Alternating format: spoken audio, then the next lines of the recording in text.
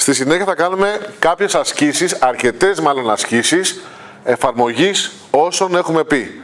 Δηλαδή θα, θα, βρου, θα βρίσκουμε σε κάθε περίπτωση την ε, λύση, τη γενική λύση ομογενών γραμμικών διαφορικών εξισώσεων δεύτερης ή παραπάνω τάξης. Θα εξετάσουμε και τις τέσσερις περιπτώσεις ως επιτοπλίστων στα παραδείγματά μας, πιο αναλυτικά από ό,τι έχουμε αναφέρει στη διαφάνειά μας.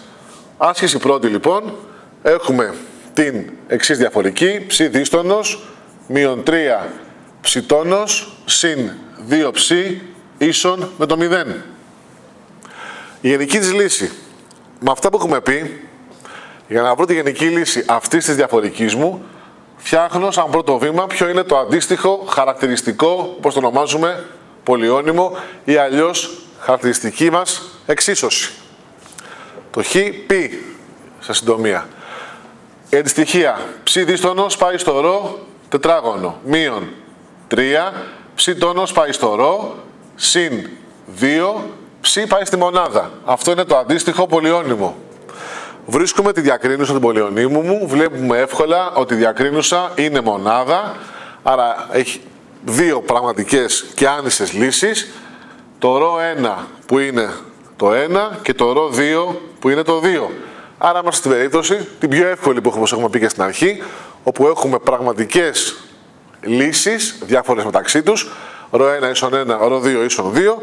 Επομένως η γενική λύση την ονομάζω ψ 0 του χ, είναι ο γραμμικός συνδυασμός τους. Δηλαδή είναι σε 1 επί ε στην ρο 1 χ, ή στην χ δηλαδή, συν σε 2 επί ε στην ρο 2 χ ή στη 2 χ. Εύκολο πολύ το παραδειγματάκι μας, δεν έχει τίποτα άλλο να συζητήσουμε. Πάμε στο παράδειγμα 2. Τώρα λοιπόν τα διάφορα παραδείγματα που θα δούμε θα παίζουν ανάλογα με την παράγωγο, σταθερός όρος, αν υπάρχει ψ δίστονος, ψ τρίστονος, ψ τόνος ή όχι. Όπως εδώ παραδείγματος χάρη που είναι η εξής. Ψ δίστονος μείον 9 ψ να μου κάνει 0.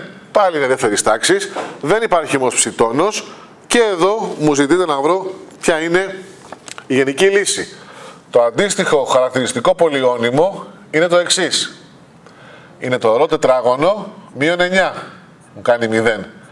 Από εδώ αν το λύσω, για να βρω τις λύσεις μου, θα βρω ότι το ρο τετράγωνο είναι ίσο με το 9. Άρα το ρο είναι ίσο, οι λύσεις μου είναι το συν 3 και το μείον 3. Πάλι βρισκόμαστε στην περίπτωση που έχουμε πραγματικές λύσεις, διάφορες μεταξύ τους, Επομένως, μπορούμε εμείς να βρούμε τη γενική λύση ψ 0 του χ όπως το συμβολίζουμε, η οποία γενική λύση πώς βρίσκεται, όπως έχει πει και από το τύπο που έχουμε δώσει στην αρχή. Θυμίζω, είναι, είμαστε στην περίπτωση 1 ας πούμε. Ποια είναι η γενική μου λύση; Βλέπετε ότι είναι γραμμικός συνδυασμό, είναι ίσο με σε 1 επί ε, ή στην ρο 1 χ, το 3 χ λοιπόν, συν σε 2 επί ε, στην ρο 2 χ που είναι το μείον 3 χ. Εύκολο. Τρίτη περίπτωση, τρίτη άσκηση. Να δούμε αναλυτικά.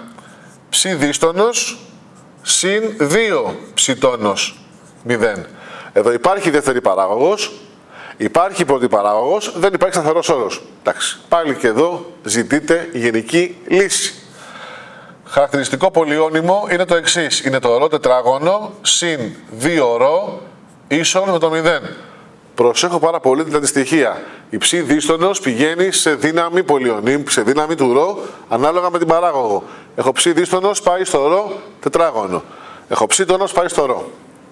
Αν τη λύσω αυτήν, δεν είναι ανάγκη εδώ να πάρω φυσικά διακρίνουσα. Κοιτάω να διευκολύνω τις καταστάσεις, τις πράξεις μου. Μπορώ να βγάλω κοινό παράγοντα το ρο, και να μείνει μέσα ρο συν 2 ίσον με το 0. Άρα παίρνω σαν πρώτη λύση ρο 1 να μου κάνει 0 και ρο 2 ίσον με μείον 2. Πάλι έχω πραγματικές. Πάλι είμαστε στην πρώτη περίπτωση. Πάλι ο γραμμικός συνδυασμός με το ε θα είναι η γενική μου λύση, την οποία τη συμβολίζω εγώ με ψ 0 του χ ίσον. Είναι σε 1 επί ε στη 0 χ και σε 2 επί ε στη μείον 2 χ.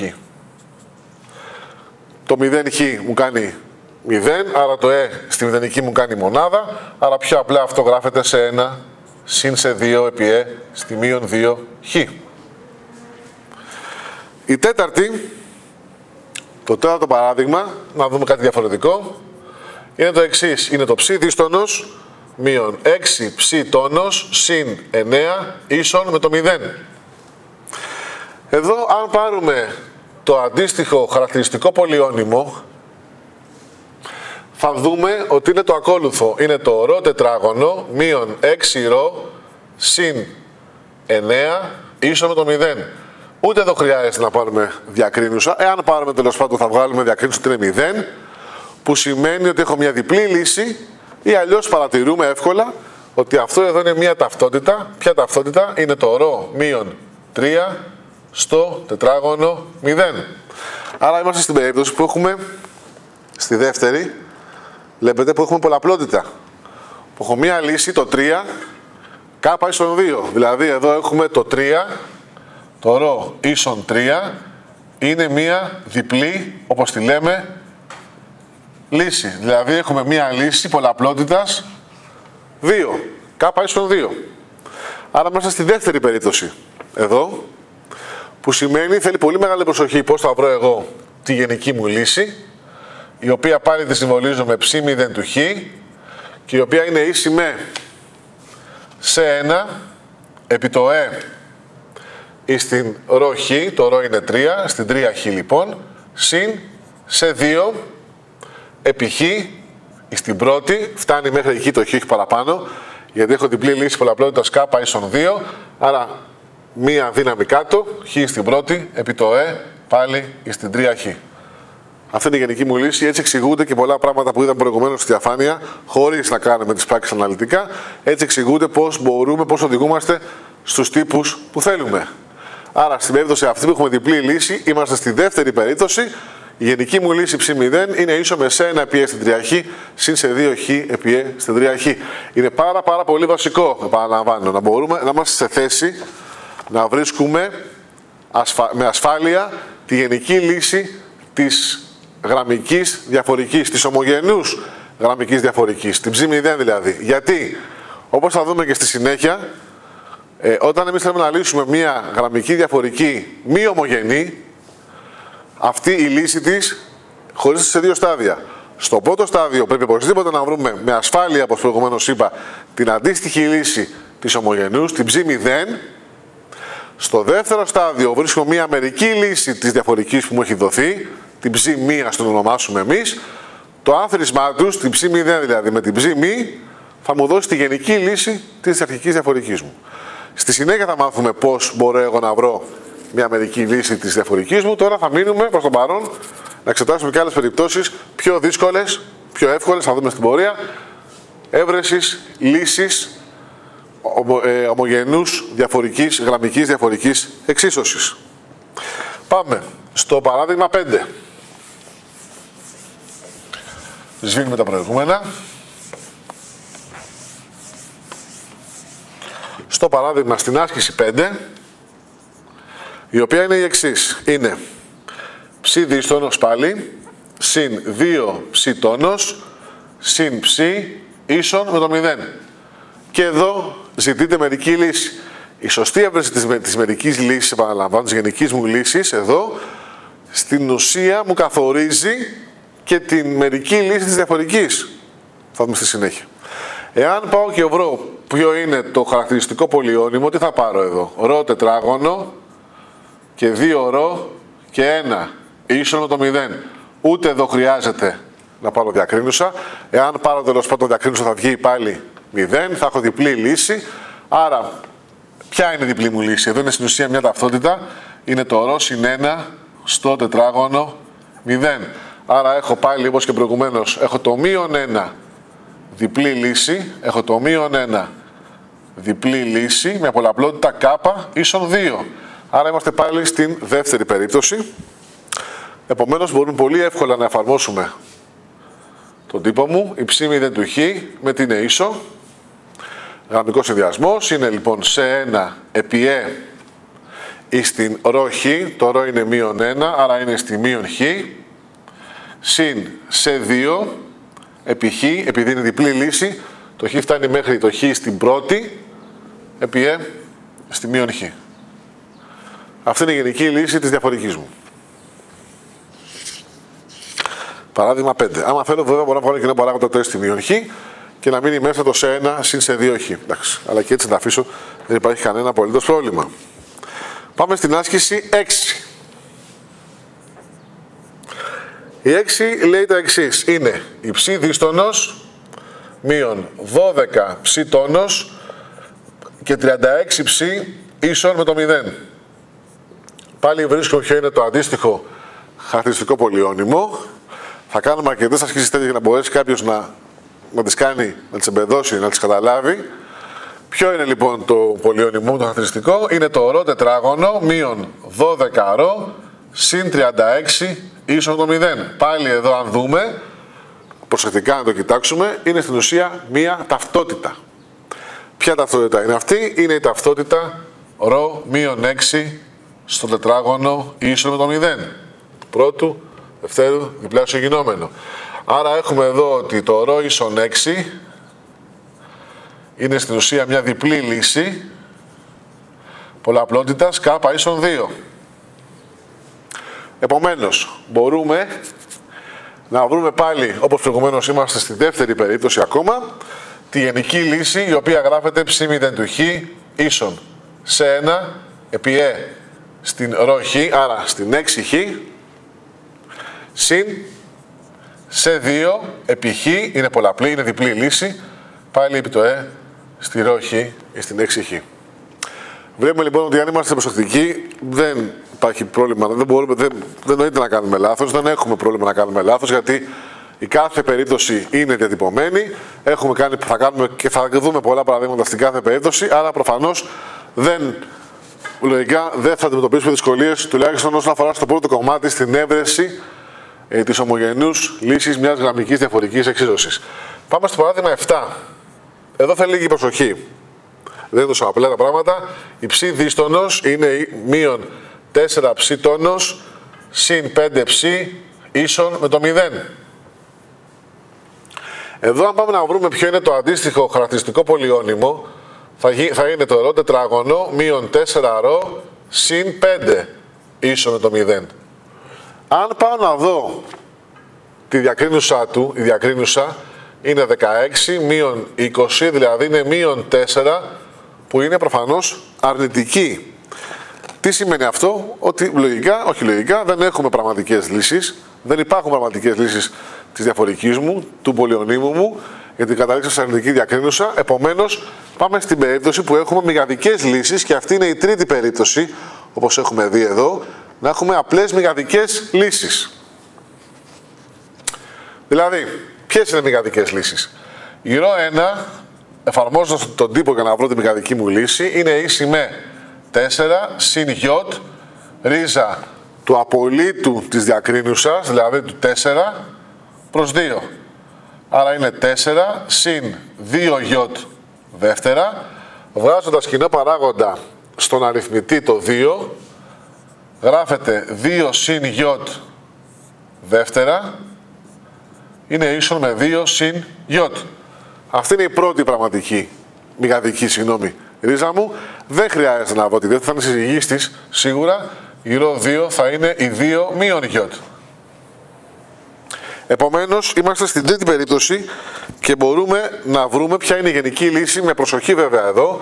Θα υποθέσουμε λοιπόν, βρίσκουμε ότι η ψ 0 του χ είναι ίση με, λέει ο τύπος μου ότι είναι ίσο με, σε ένα, το γράφω αναλυτικά, σε ένα επί ε στην α χ, επί το συνημήτωνο β χ, συν σε 2 επί ε στην α χ, επί το ημίτονο β χ, όπου το α είναι το πραγματικό μέρος της μηγαδικής μου λύσης. Σε εμάς το α εδώ είναι το 2 και το β είναι το φανταστικό μέρος της μηγαδικής μου λύσης. Σε εμάς εδώ β ίσον 1. Άρα λοιπόν η γενική λύση ψ 0 του χ, στη δική μας την περίπτωση ποια είναι; Είναι η σε 1 επί ε εις στην α χ δηλαδή εις στην 2 χ επί το συνημήτωνο χ γιατί α είναι 2, β είναι μονάδα, συν σε 2 επί ε στην α χ το 2χ επί το ημίτονο χ. α ίσον 2, β ίσον 1.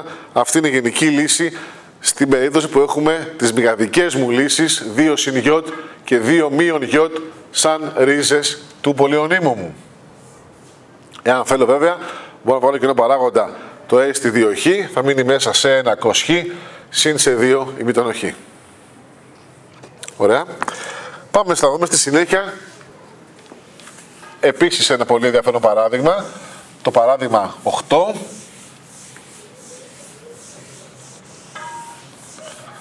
Που λέει τα εξής. Άσκηση 8 λοιπόν. Λέει, έχουμε την ψ δίστονος συν 16 ψ ίσον με το 0. Να μια αρκετά ιδιαίτερη, μια ενδιαφέρουσα διαφορική εξωσή, δεύτερη τάξη βέβαια. Δεν υπάρχει εδώ ψητόνος και το 16 είναι, σταθερός, είναι μαζί με το ψ. Αν βρω ποιο είναι το αντίστοιχο χαρακτηριστικό πολυόνυμο, είναι το ρο τετράγωνο συν 16 ίσον 0. Δεν χρειάζεται καν να πάρουμε εμείς εδώ διακρίνουσα για να καταλήξουμε ότι είναι αρνητική. Μπορούμε πολύ εύκολα να δούμε πηγαίνοντας στο 16 από την άλλη μεριά ότι αυτό γράφεται ρο τετράγωνο ίσον με μείον 16. Άρα μιλάμε ότι δεν έχουμε, πάλι δεν έχουμε πραγματικές λύσεις και θα δω ποιες μηγαδικές, ποιο ζευγάρι μηγαδικών λύσεων έχουμε γιατί το μείον 16 πώς γράφεται; Το μείον 1 που είναι μπροστά είναι στην ουσία το ι τετράγωνο στους μηγαδικούς επί 16. Άρα το ρο 1 είναι η ρίζα 16 γιότ τετράγωνο, δηλαδή είναι το 4 γιότ και η ρο 2 είναι η συζυγής της, είναι το μείον 4 γιότ. Εδώ βλέπουμε ότι έχουμε πάλι πάρει, ότι έχουμε πάλι πάρει ένα ζευγάρι μηγαδικών συζυγών λύσεων, το 4 γιότ και το μείον 4 γιότ, με πραγματικό μέρος α 0, φανταστικό μέρος β 2. Άρα η λύση μου, η ψ 0, η γενική λύση της ομογενούς, είναι ίσο με σε 1 επί ε στην αχ, όπου το α είναι το πραγματικό μέρος της μηγαδικής μου, εδώ είναι 0, άρα στη 0 χ, επί το συνημήτωνο β χ, σε εμάς το β είναι 4, άρα είναι cos 4 χ, συν σε 2 επί ε στη 0 χ, επί το ημίτονο 4 χ. Προφανώς το ε στη 0 χ μου κάνει μονάδα, άρα το διώχνω, Άρα έχω ψ 0 του χ ίσον σε 1 επικός 4χ για τον ίδιο λόγο σε 2 επί ημίτονο 4χ. Ωραία, μια επίσης ενδιαφέρουσα άσκηση είναι αυτή. Επίσης ένα άλλο κομμάτι στην 9 πριν προχωρήσουμε σε διαφορικές ανώτερες τάξεις. Η 9 λοιπόν είναι η εξής. Έχουμε την ψ δίστονος μείον 6 ψ τόνος συν 10 ψ ίσον με το 0. Εδώ η αντίστοιχη χαρακτηριστική περίπτωσή μου, πολυόνυμό μου, είναι το ρο τετράγωνο μείον 6 ρο συν 10 μου κάνει 0 και αν βρω διακρίνουσα είναι 36 μείον 40 είναι πάλι μείον 4 αρνητική. Άρα είμαστε πάλι στην τρίτη περίπτωση. Έχουμε λοιπόν πάλι μηγατικές ρίζες τις οποίες πρέπει να τις βρούμε και έχουμε ότι το ρο 1 είναι πόσο; 6 συν ι ρίζα 4 προς 2, δηλαδή είναι 6 συν 2 ι δεύτερα. Βγάζω και το παράγοντα το 2 στον αριθμητή, μένει μέσα 3 συν ι δεύτερα, απλοποιούνται, άρα μένει 3 συν ι, η συζυγής της το ρο 2 είναι το 3 μείον ι. Άρα έχουμε πάλι ζευγάρι μηγατικών με πραγματικό μέρος το α να είναι ίσο με το 3. Φανταστικό μέρος το β να είναι μονάδα. Άρα η λύση, η γενική λύση της ε, ομογενούς είναι η ψ 0 του χ ίσον σε 1 επί ε στην α χ, το α είναι 3, άρα στην 3 χ επικός Β' το Β είναι μονάδα, άρα είναι κος Χ. Συν σε 2 επί Ε, πάλι στην 3 Χ επί το ημίτονο Β' Χ, Β είναι μονάδα, επί ημίτονο του Χ. Πάλι αν θέλω μπορώ να βάλω κοινό παράγοντα το A στην 3χ, να μείνει μέσα σε ένα κος χ συν σε 2 μηδενό του χ. Άρα με τις πρώτες αυτές 9 ασκήσεις που κάναμε, πιστεύω ότι δείξαμε σε πολύ μεγάλο αναλυτικά και σε μεγάλο βαθμό τις, εξετάσαμε τις τρεις πρώτες περιπτώσεις, δηλαδή να έχω πραγματικές διαφορετικές μεταξύ τους ρίζες, να έχω πραγματικές πολλαπλές ρίζες και να έχω συζυγείς μηγαδικές. Θα συνεχίσουμε με μερικές ασκήσεις ακόμα, άλλες 4-5 ασκήσεις ακόμα, αλλά λίγο πιο δύσκολες από αυτές τις πρώτες 9 που έχουμε κάνει, να θα έχουμε ασκήσεις ανώτερης τάξης, δηλαδή θα παρουσιάζεται παράγωγος ψ, τρίστονος κτλ. Πάμε λοιπόν στην άσκηση 10.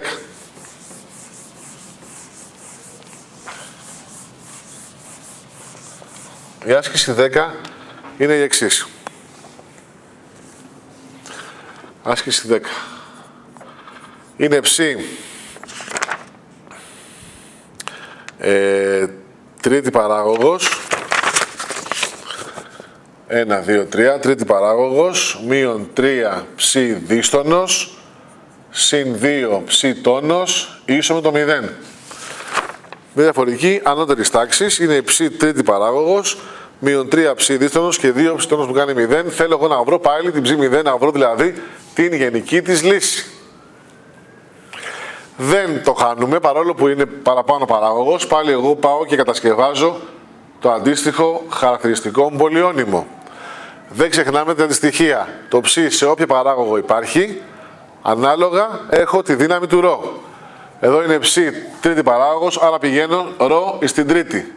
Μείον 3 ρο στο τετράγωνο. Συν 2 ρο ίσον με το 0. Αυτό είναι το αντίστοιχο πολυόνυμο ή η αντίστοιχη χαρακτηριστική μας εξίσωση. Υπάρχει ψ τρίτη παράγωγος, άρα πάμε στο ρο τρίτης, μείον ψ δίστονος πάει στο 3 ρο τετράγωνο, συν 2 ρο. Εδώ, για να το λύσουμε, αρκεί να βγάλω κοινό παράγοντα το ρο.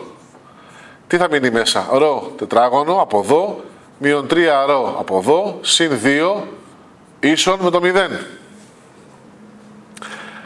Και μέσα στην παρένθεση έχει μείνει ένα πολυόνυμο, τριώνυμο συγκεκριμένα, το ρο τετράγωνο μείον 3 ρο και 2, στο οποίο εάν κάνω διακρίνουσα που είναι μονάδα και βρω τις λύσεις μου, οι λύσεις μου είναι το 1 και το 2 κατά τα γνωστά, αλλά αυτό γράφεται παραγωτοποιημένο, ρο μείον 1 επί ρο μείον 2 ίσον το 0.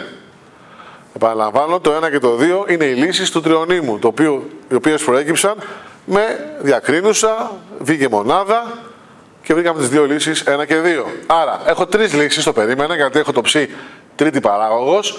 Ποια είναι η πρώτη μου λύση, ρο 1 είναι 0, η δεύτερη λύση είναι το 1 και η τρίτη λύση είναι το 2. Άρα μιλάμε ότι έχουμε τρεις διαφορετικές πραγματικές λύσεις, διάφορες μεταξύ τους, άρα είμαστε στην πρώτη περίπτωση τώρα και λέμε ότι η ψ0 η γενική λύση της διαφορικής μου, η ψ0 του χ, ποια είναι; Είναι το σε 1 επί ε στη 0χ, στο ρο 1, συν σε 2 επί ε στη ρο 2χ, στη χ δηλαδή, συν σε 3 επί ε στη ρο 3χ, στη 2χ.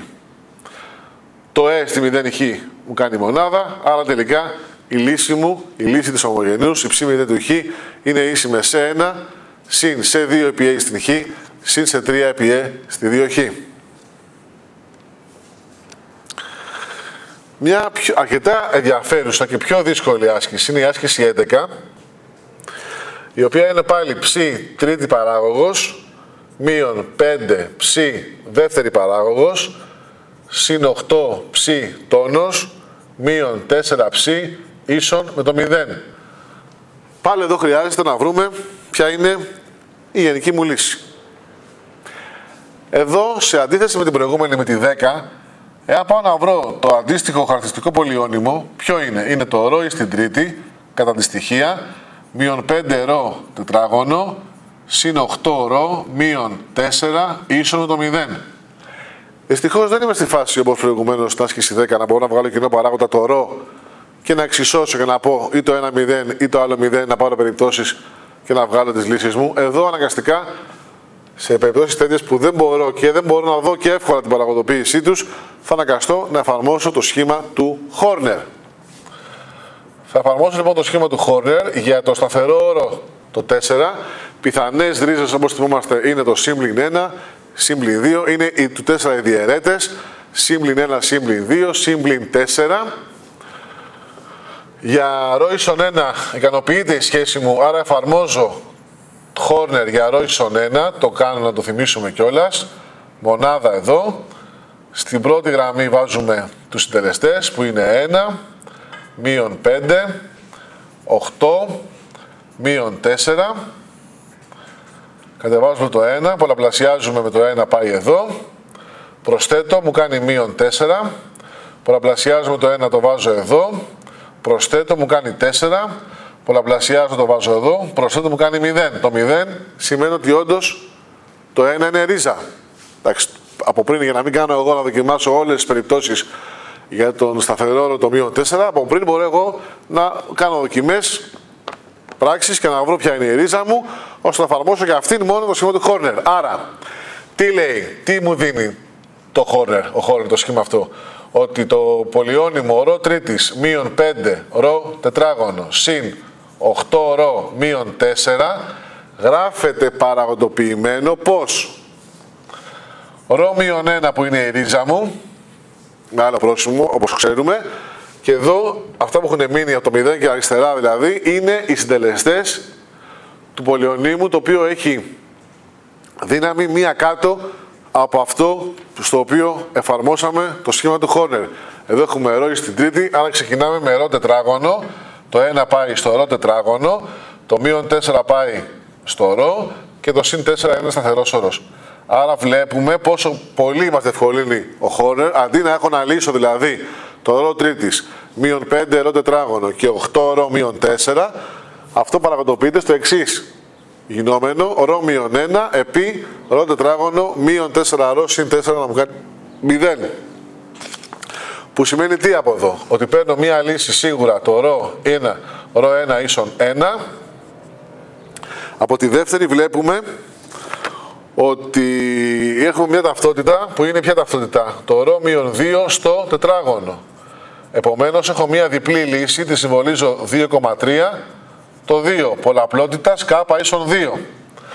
Έχω λοιπόν εγώ τρεις λύσεις όπως περίμενα, γιατί έχω ψη τρίτη παράγωγος, αλλά είναι συνδυασμός τώρα των πρώτων δύο περιπτώσεων.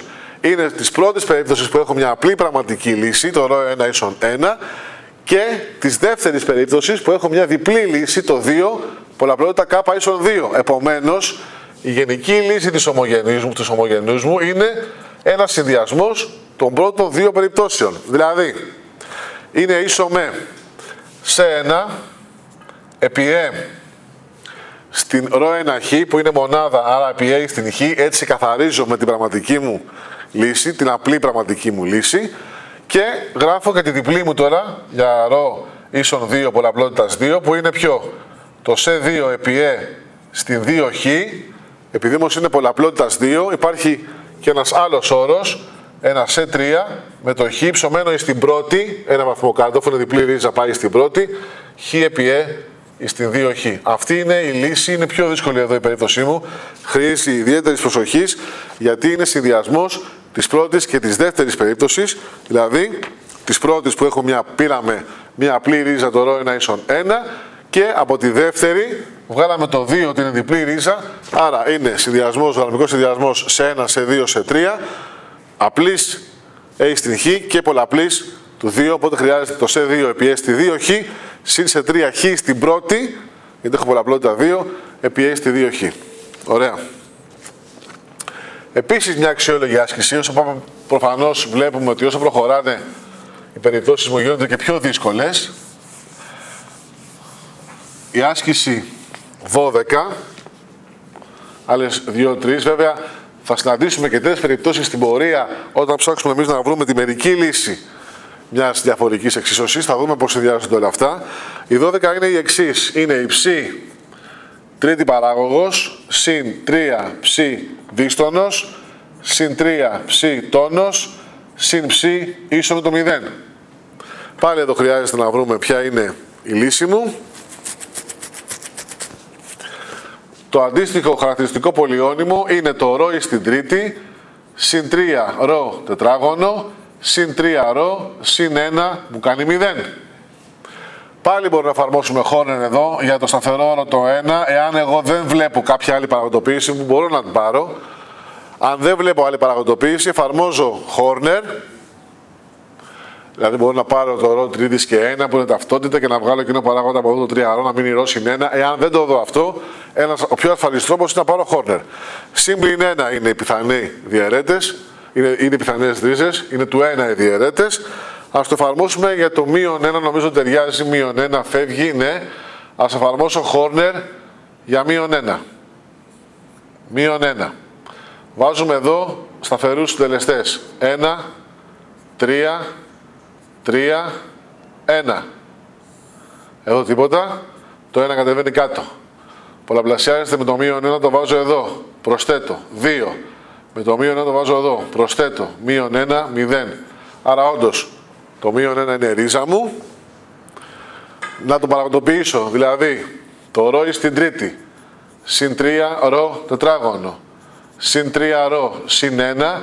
Πώς γράφεται παραγωγοποιημένο. Γράφεται ως εξής.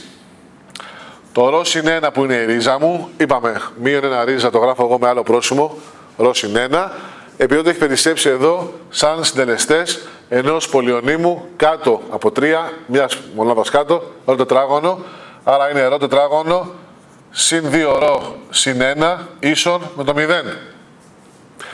Εάν παρατηρήσουμε, εντάξει βέβαια μαρφοδίσει πάρα πολύ ο Χόνερ στην παραγωγοποίηση, εάν παρατηρήσουμε το δεύτερο κομμάτι που είναι σε παρένθεση είναι μια ταυτότητα.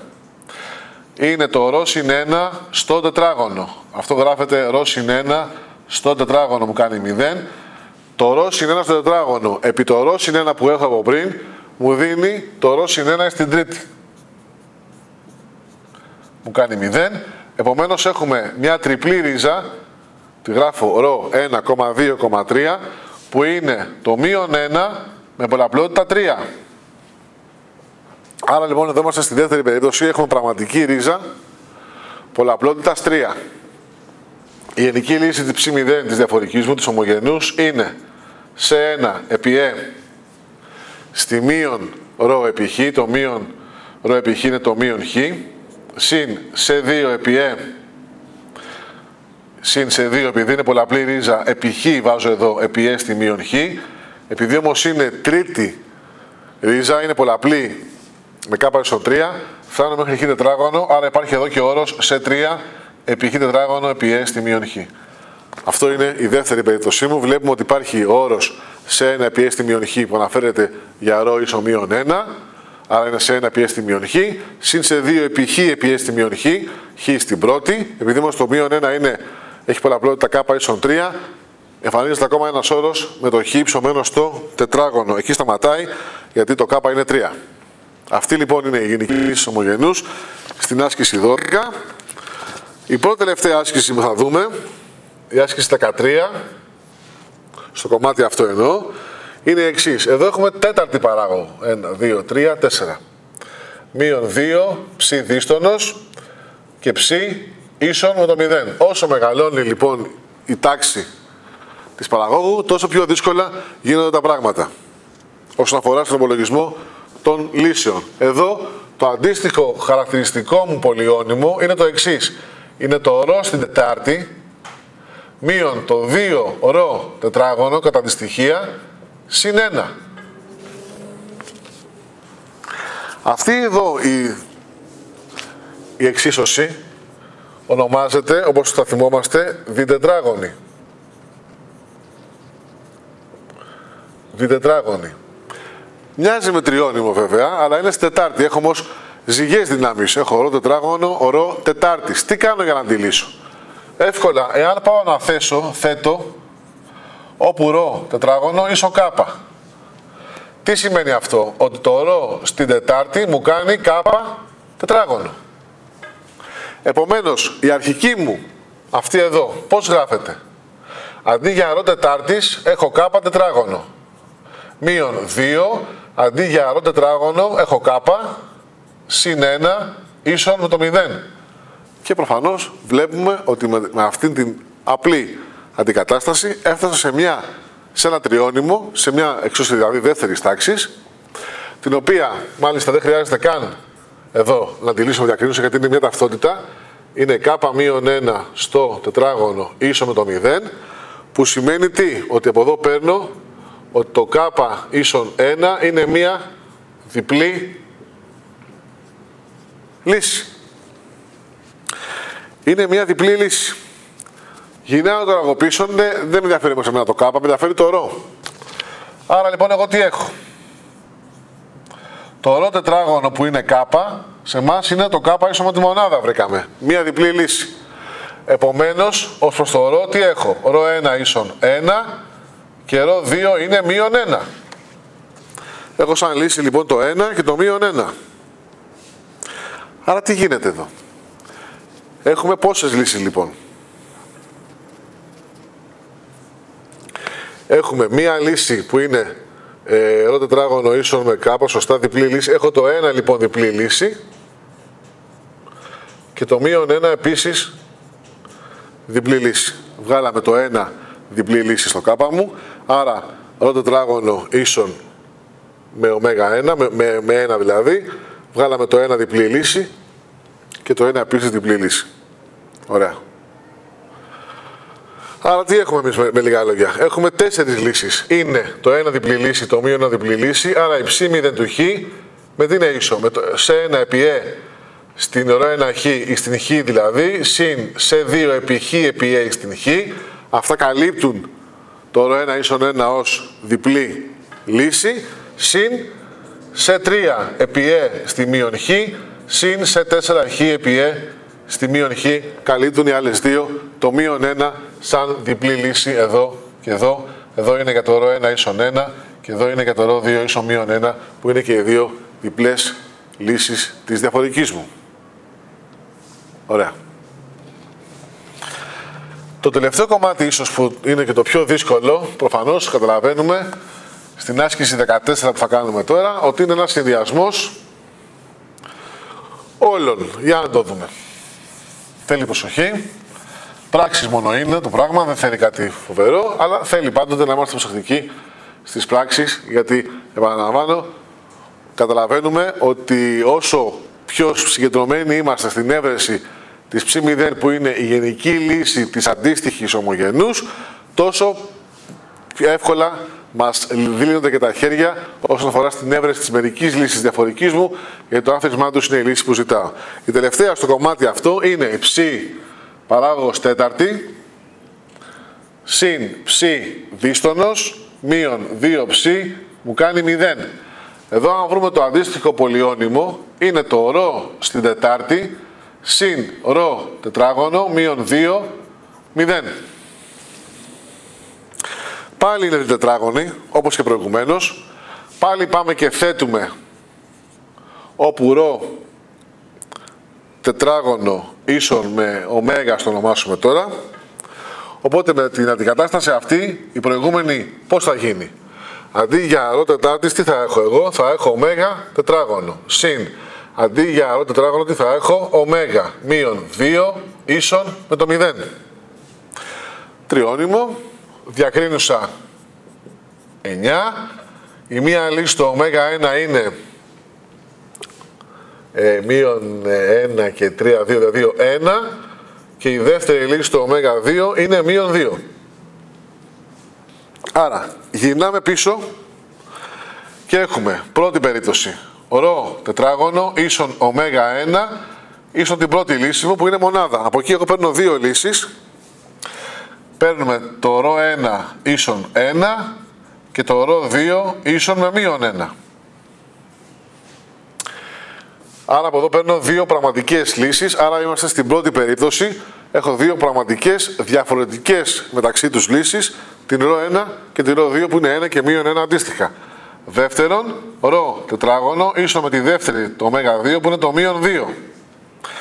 Εδώ θέλει πολύ μεγάλη προσοχή να βρω τις άλλες δύο λύσεις μου. Προφανώς δεν θα είναι, πραγμα... είναι πραγματικές, αυτό είναι το μόνο σίγουρο. Αλλά γράφω βλέποντας ότι το μείον 2 γράφεται 2 γιοτ τετράγωνο. Αν εγώ λοιπόν εγώ πάρω ρίζα, θα βρω ότι το ρο 3,4 που είναι οι δύο μεγαδικές μου ρίζες, θα είναι ίσο με το συν πλην ρίζα του 2 γιότ τετράγωνο. Δηλαδή είναι ίσο με συν πλην του γιώτα ρίζα 2. Άρα έχω δύο πραγματικές λύσεις διαφορετικές μεταξύ τους, το 1 και το μείον 1. Είναι η πρώτη μας περίπτωση. Και έχω επίσης και δύο ρίζες μηγατικές συζυγείς μεταξύ τους, το γιότ ρίζα 2 και το μείον γιότ ρίζα 2, που είναι η τρίτη περίπτωση.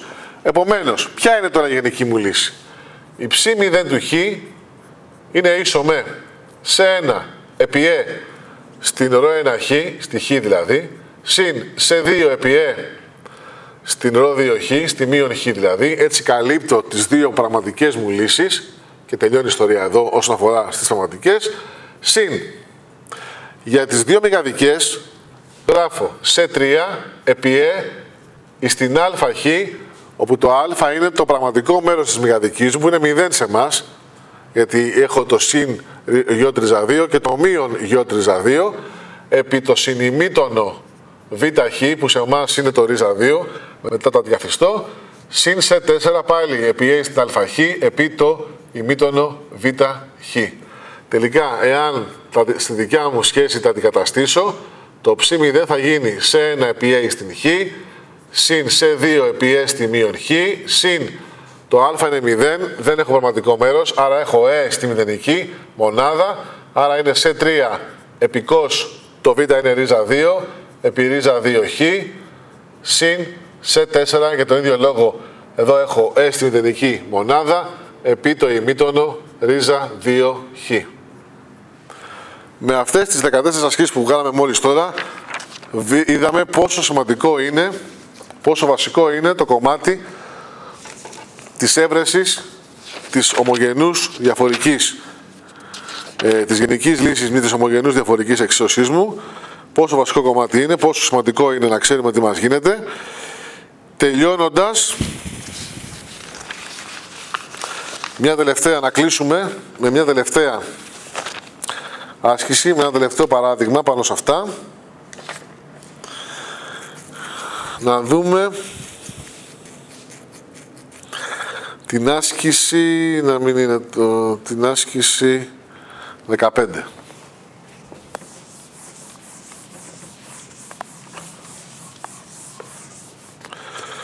Ωραία, η άσκηση 15 είναι, λέει τα εξής. Είναι ψ παράγωγος τέταρτη, μείον 4 ψ δίστονος, συν 16 ψ τόνος, συν 32 ψ ίσον με το 0.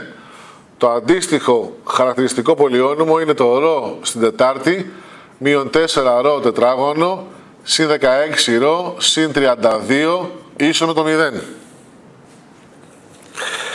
Μπορούμε, αν δεν θέλουμε να εφαρμόσουμε Horner, μπορούμε να βγάλουμε κοινό παράγοντα, παραδείγματος χάρη. Από τα δύο πρώτα να βγάλω κοινό παράγοντα το ρο τετράγωνο τι θα μείνει μέσα, θα μείνει ρο τετράγωνο μείον 4 και από τα δύο τελευταία να βγάλω κοινό παράγοντα το 16.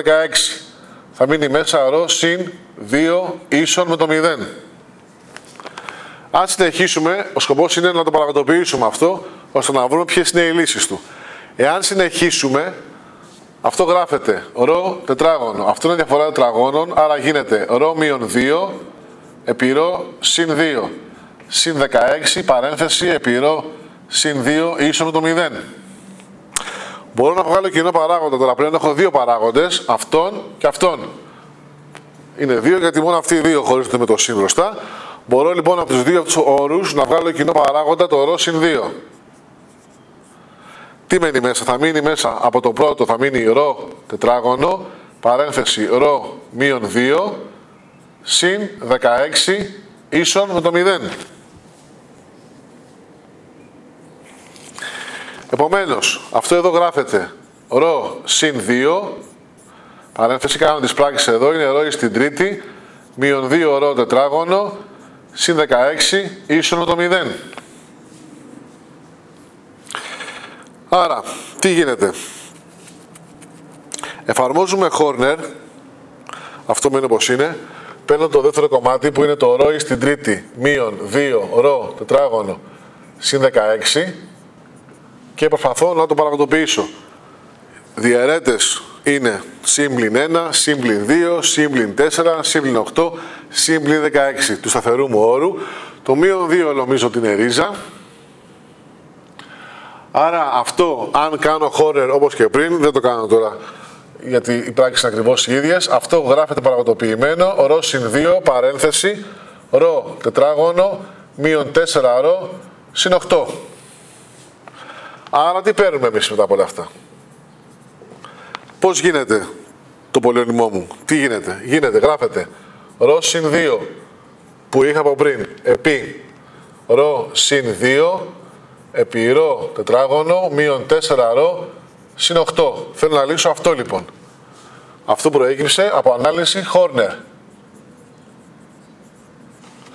Άρα τι μου μένει; Έχω ρο συν 2 επί ρο συν 2 μου κάνει ρο συν 2 στο τετράγωνο. Ρο τετράγωνο μείον 4 ρο συν 8 ίσο το 0. Από εδώ τι παίρνω; Παίρνω το μείον 2 διπλή ρίζα γιατί είναι ψωμένο στο τετράγωνο και εδώ έχω ένα τριώνυμο που αν βρω τη διακρίνουσα είναι 16 μείον 32, είναι μείον 16 η οποία προφανώς είναι αρνητική, άρα έχει δύο μηγαδικές ρίζες. Η μία μηγαδική ρίζα είναι 4 και ι ρίζα 16 προς 2, δηλαδή είναι 4 και 4 ι δεύτερα, δηλαδή αυτό γράφεται 2 συν 2 ι, αναπλοποιηθεί και το ρο 2 είναι 2 μείον 2 ι. Άρα έχουμε τέσσερις προφανώς ρίζες, γιατί είχαμε ψή τέταρτη παράγωγος, μία διπλή πραγματική και ένα ζευγάρι μηγαδικών.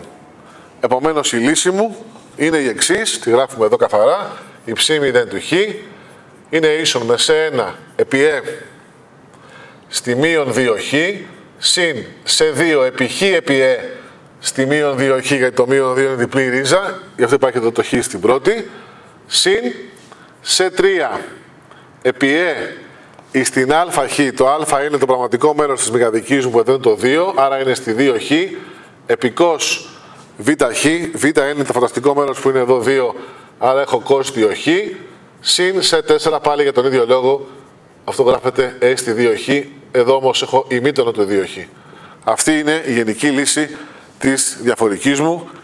Έτσι κλείνουμε ένα μεγάλο κομμάτι με 15 λιμένες ασκήσεις.